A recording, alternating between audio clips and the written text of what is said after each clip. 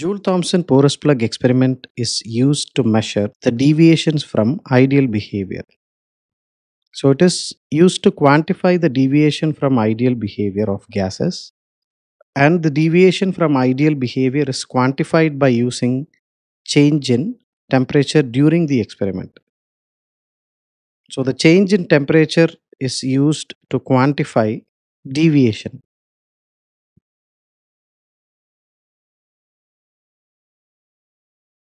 So the experiment is about allowing a gas to flow from initial pressure and volume through a porous plug to another pressure and volume. We'll see about the experiment in detail. So the experiment needs an apparatus and the apparatus is an insulated tube. So it is a tube which is separated into two parts by using a porous plate. So you can see the porous plug at the center or the porous plate so which is dividing the insulated tube into two. On each side of the plate, there are pistons. So you can see we have a piston on this side and we have another piston on this side. So these two pistons can be moved just to maintain the pressure difference on the right side and the left side of the porous plug. The pistons are used to maintain pressure. So P1 and P2 that is pressure 1 on the right left side of the porous plug and pressure 2 P2 on the right side of the porous plug and the pistons are not going to do any work. So no work is done okay by the pistons.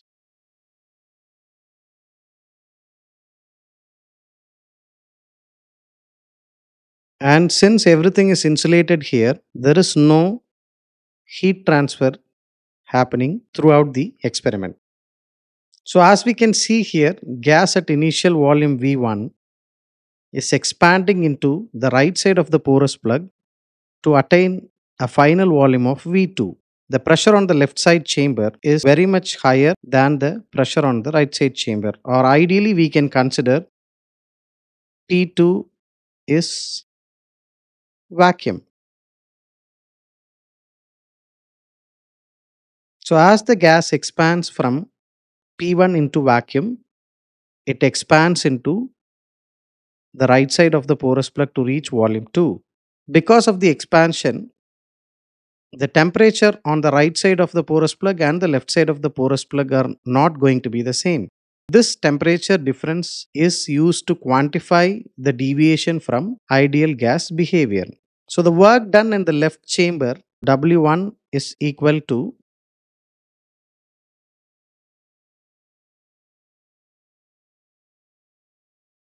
the integral of P1 into dV. The limits are V1 and 0 that is vacuum.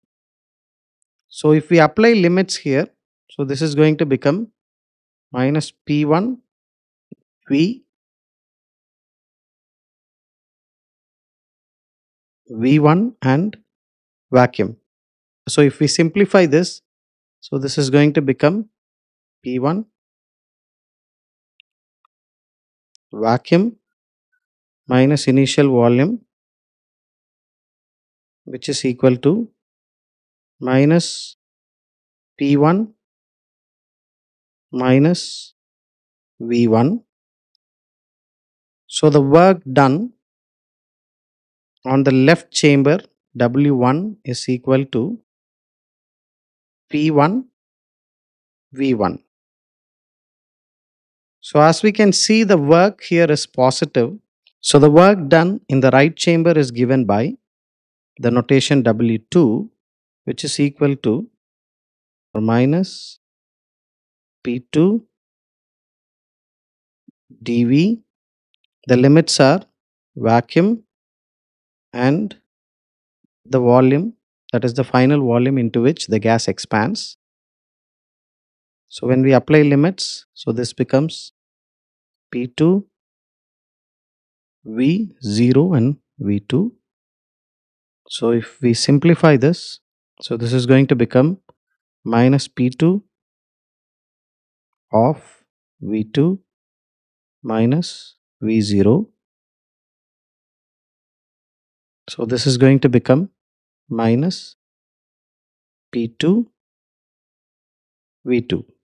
So the work done on the right chamber is equal to minus P2 V2. So the net work done can be given by W which is equal to the work done on the left chamber plus the work done on the right chamber which is going to be equal to P1 V1 minus P2 V2 and the net change in energy is given by del U which is equal to U2 minus U1. We know that the Joule-Thomson experiment is carried out adiabatically and therefore the heat transfer is equal to 0. When we apply the first law of thermodynamics which is del U plus W is equal to Q. In this case, Q is equal to 0. So, because of that, the expression becomes del U plus W is equal to 0. So, when we substitute the values of work here, so this is going to become U2 minus U1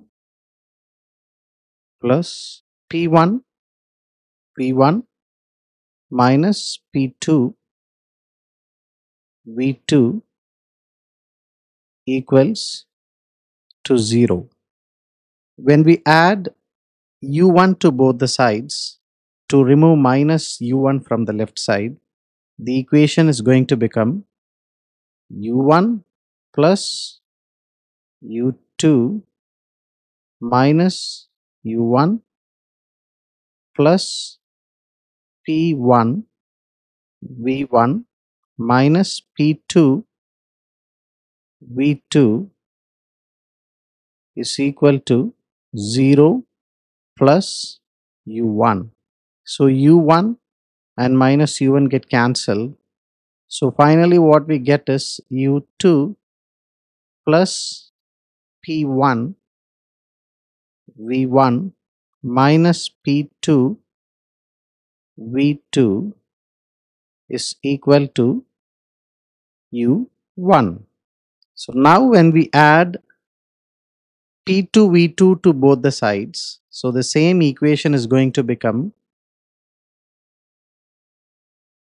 P2 V2 plus U2 plus P1 V1 minus P2 V2 is equal to U1 plus P2 V2. So we can cancel P2 V2 and minus P2 V2 and the expression is going to become U2 plus P1 V1 is equal to U1 plus P2 V2. We can see that both the sides of the equation are the same. So we can flip the equation to present the initial state on the left side and the final state on the right side. So we can write it as U1 plus P1 V1 is equal to U2 plus P2 V2. From the definition of enthalpy, we know that enthalpy is equal to U plus P V. So if we substitute it in the previous equation, so the equation is going to become H1 is equal to H2 or we can say the change in enthalpy is equal to 0.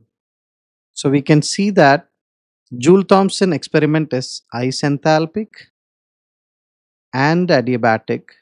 So to quantify the deviation from ideal behavior, Joule-Thomson coefficient is used. So Joule-Thomson coefficient is indicated by the notation mu with a subscript JT. So, which is defined as the change of temperature with pressure. So, change of temperature at constant enthalpy. So, practically, Joule Thomson coefficient is measured from the temperature change. So, we can rewrite this as the temperature change as it undergoes a pressure drop or as it expands through the porous plug at constant enthalpy.